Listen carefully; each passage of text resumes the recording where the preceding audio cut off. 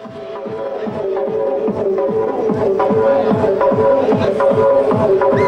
you.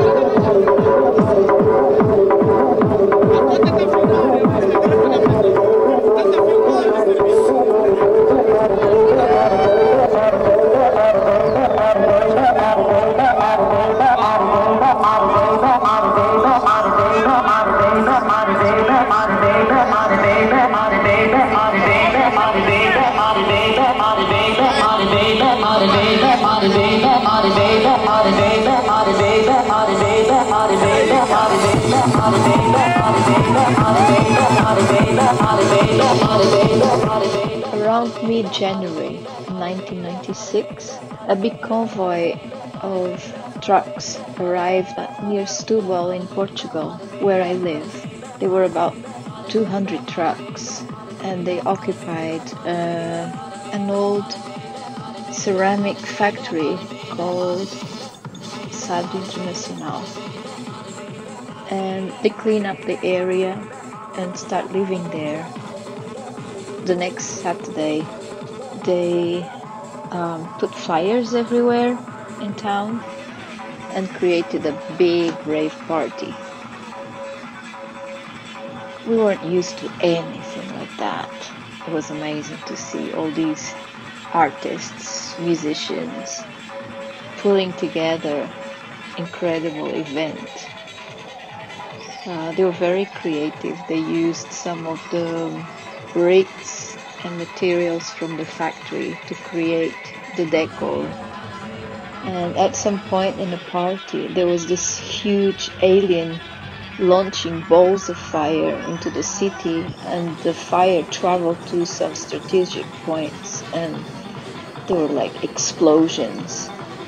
Uh, they had like strobe and there was some rain, and the strobe and the rain made something completely magical. We were all fascinated. Uh, a week later, we did another party, and this time I got involved with them, helping with the logistics, with the authorities, uh, making like a liaison, going to the radio, being interviewed on the radio station, and explaining what they were doing. Um, basically, this was the beginning of the rave movement in Portugal. There were four sound systems Spiral Tribe, Kamikaze, Facom, and Total Resistance.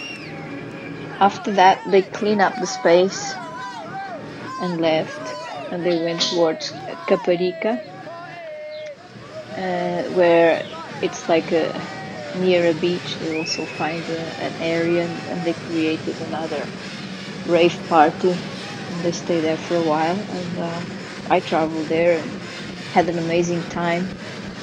At the time, I was the only person that I could see with a, a video camera, camcorder, and a camera, photographic camera. And I took hundreds of photographs and I have hours of footage. I was completely fascinated with that nomad style, bringing parties to small places and it, it was a lot of fun. They had been kicked out of England because the rave scene became too big and the authorities were like squashing them and they squashed them out of, um, England. And so I became friends with some of the members and they used my house as a in town a place where they would come to do laundry uh, take showers all the logistics that traveling people um, need and uh, I end up having like a romantic affair with one of them. And um, a few months later he invited me to travel with him, so I, I had the experience um, of living that life. Uh, uh, first we went to north of Portugal to Coimbra, where a group was staying there, um, and from there we moved we moved through Spain, uh, France. Uh, there was a a big festival in Normandy where we stayed um, for that festival, and from there we traveled to Amsterdam. It was uh, an incredible explosion of art that we could participate and music. It, it was just the rave scene was actually booming, was coming to Portugal, and it was breaking lots of new taboos, barriers, and the young people start coming, and it was very interesting to watch it grow and see how people's minds were changing and the way people start accepting people that were different because all these artists they had tattoos and piercings dreadlocks they were dressed differently. And i think they people start getting used to it even though we're talking about portugal in the 90s it was still very d- different. Made me a richer person. Um, maybe more of a free spirit the whole experience opened my horizons. I became anxious to experience that freedom of going somewhere and start something and be part of something that is bigger than us. A few years later i end up moving to england and being part of the festival scene. In Portugal in 1997, I also uh, became fascinated by the Boom Festival, a different type of music. With Goa trance music instead of techno. But the spirit, th- there were some similarities with the lifestyle and the way of living you know, a different kind of life, out of the box, out of the norm. So I, I lived in England, going to the UK summer festivals. Uh, I had a little kid at